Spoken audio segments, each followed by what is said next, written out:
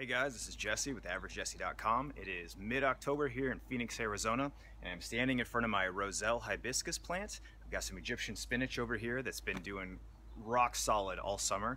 Uh, but now it's time to harvest the Roselle hibiscus calyxes and start uh, dehydrating them to make tea or to make jams and jellies and things of that nature. I looked on YouTube for a video on how to process the calyxes to make jelly. Didn't really find a good one, so I'm going to take you through the process start to finish from harvesting, preparation, uh, all the way through to canning. So a few things to note on these Roselle hibiscus plants. Uh, you will see these little tiny fruit buds up here, the, the calyxes, and that is where the flower will come out of.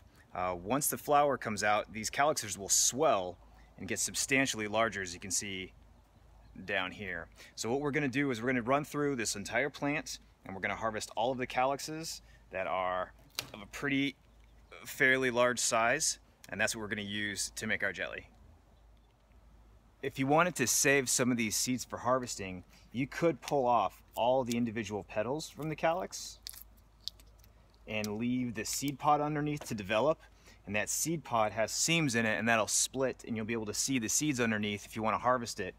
Uh, but if you're not worried about saving seeds, you can just cut off the entire calyx. So I'm going to go through and uh, clean all of the ripe fruits off of this plant and the one next to it, and I'll be right back.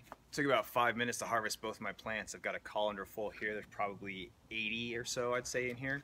Uh, my hands are stained from uh, harvesting these, which will happen. But one thing I wanted to point out is that I'm six foot tall, and here's one of my hibiscus plants.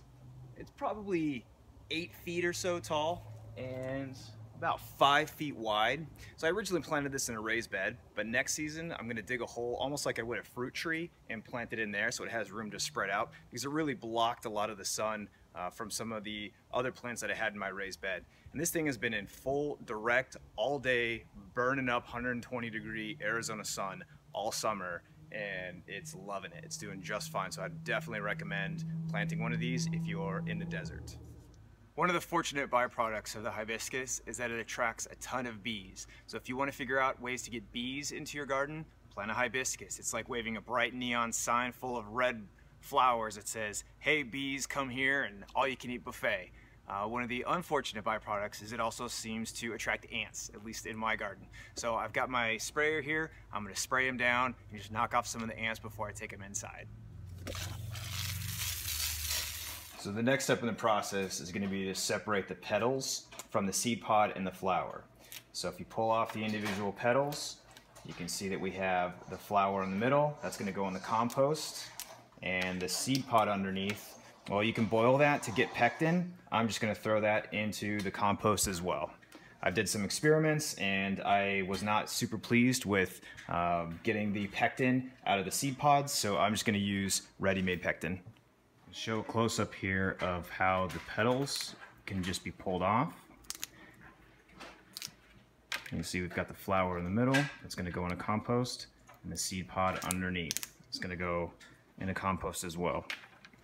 Now there is a bit of fruit on here. You can pull all of this off and use that in your jelly but I've noticed that this little green layer here adds additional tartness that I don't particularly care for. Uh, so I'm just gonna compost all this and only make the jelly from the petals. So now I have just a bunch of the calyx petals and I have all of the seed pods that are ready to go into compost. Uh, I've rinsed these off pretty well. There's little spiders or bugs or ants or caterpillars or God knows what dust that are on here. They just give it a rinse, get all that stuff off, and then uh, we're about ready to start processing now. This recipe calls for a one-to-one -one ratio of fruit to sugar. I have packed down two cups of the hibiscus calyxes and I'm going to pack down another one to have four cups total of fruit.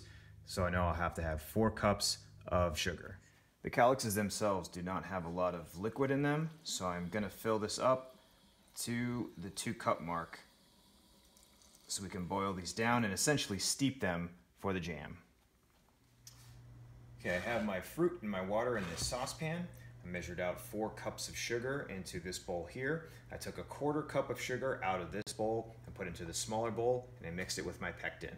I'm going to let this come to a boil and then cover it, let it simmer for 15 minutes. Meanwhile, I will be sterilizing all of the jars that I'm going to be using for the canning.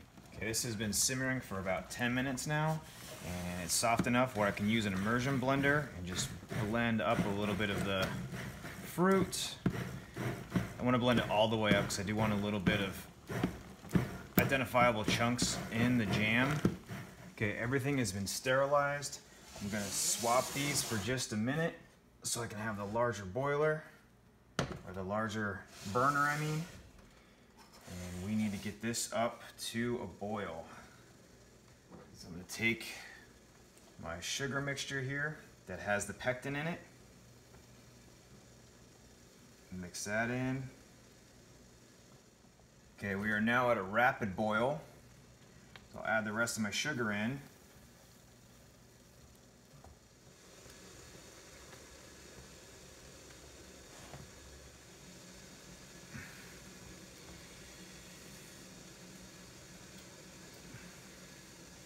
Okay, we got them filled and capped. I'll put them in to get sealed.